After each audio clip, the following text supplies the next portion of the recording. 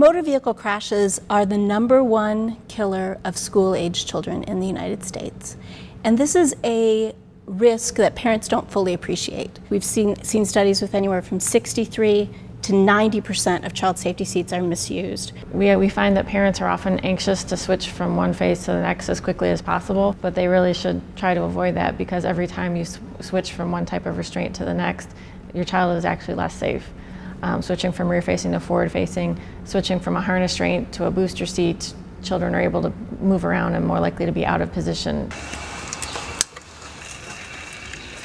Parents want to be able to see their kids. They feel like they don't want to take their kid in a baby seat to school, so they're moving kids out of five-point harnesses and into booster seats or seat belts too early. For any child in a crash, the most commonly injured body region is the head. For infants, because their head is so big relative to the rest of their body, we really need to have a rear-facing seat so the head and torso are supported together.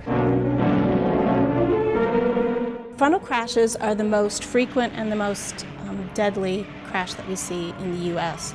So if a child's rearward facing in a frontal crash, the force of the crash gets distributed all along the back of their head and, and the back of their body. It also makes sure that their head and torso stay relatively aligned during the crash event. You can imagine if you're forward facing, you have two straps holding back your shoulders, your head's free to come forward. And we see a lot of really severe neck loading in those situations.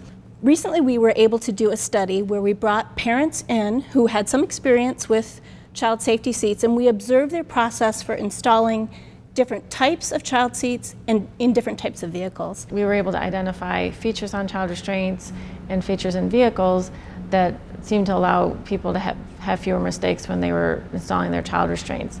So by identifying these features, we've identified some design goals for vehicle manufacturers and child restraint manufacturers that could help make their vehicles and products easier to use.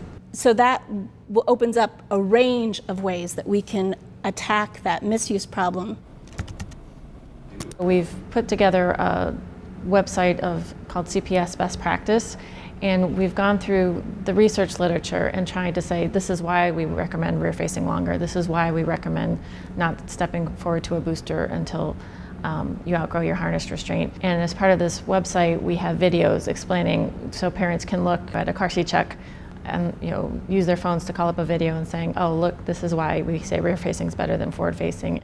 If you look at the data, the rear seat is very rarely used by adult occupants, but all of the seats and um, seatbelt systems are tuned and tested for adult protection. What I think the next big question is, and, and something that we've done some work here at UMTRI on, is tailoring rear seats in vehicles for the people that actually use them. So we'd like to see more situations where that second row and third row seat environment is more amenable to child passengers.